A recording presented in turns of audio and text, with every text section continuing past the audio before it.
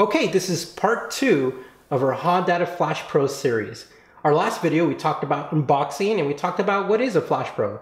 And this time around we're going to talk about kind of like the quick start about it and downloading the software and understanding how to start using it.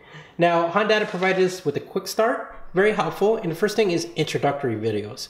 So you go to YouTube, you type in Hondata, and you go to playlists, and under playlists, all the way to the right, you're gonna see Hondata Flash Pro tutorials. Click on that and you'll see six video, five reviewable, and I watched mm, up to the fourth one. The first three are are pretty good, pretty good information, pretty good videos. I do have to mention that they were made in May 12th of 2009, so they're about a decade old, and you'll see that when you watch them.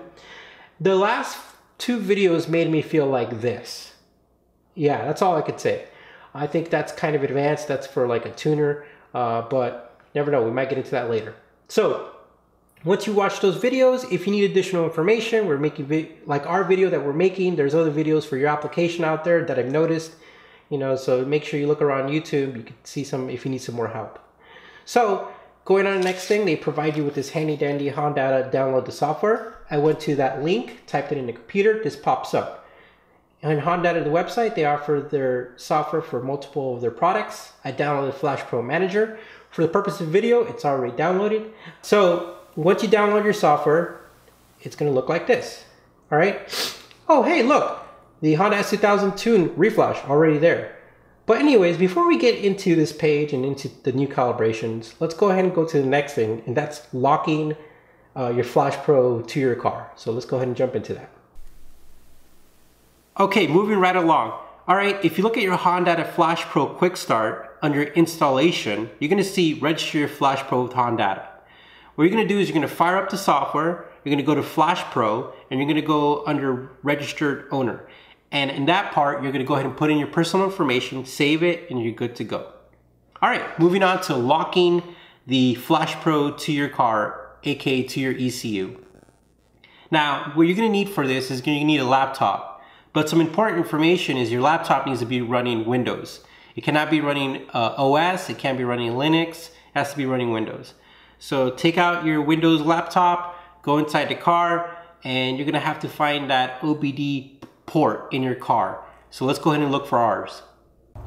So the OBD port on a AP2 is back there. So we're gonna go ahead and connect the Flash Pro to that. Okay, so we found a port, we connected the OBD plug to it from the Flash Pro, and we connected our Flash Pro data cable USB to our laptop. All right, so at this point, we're gonna go ahead and fire up the software if it's not already running, and we're gonna go to Flash Pro again. And at that point, if you scroll down, you're gonna see the license portion. You're gonna see a couple things there. You're gonna see, uh, but go to under the license, and when you open it, uh, you'll see that mine's already locked, but at this point, you'll be able to lock yours. Uh, this is good for both parties. The company, uh, you know, you can't just buy one Flash Pro and tune everybody's car in the block. And also, um, you know, if it gets stolen, it's locked to your car. Now there is an unlocking process. So if you want to sell it, you're able to do that, which I think is a really neat feature. Uh, you can unlock it for your car and then lock it to another car. Okay, so we've uh, registered uh, the Flash Pro to the owner.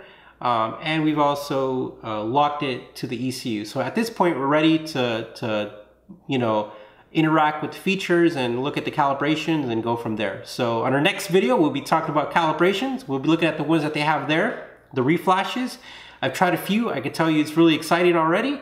And uh, stay tuned, no pun intended. And uh, don't forget to like and subscribe and have a great day.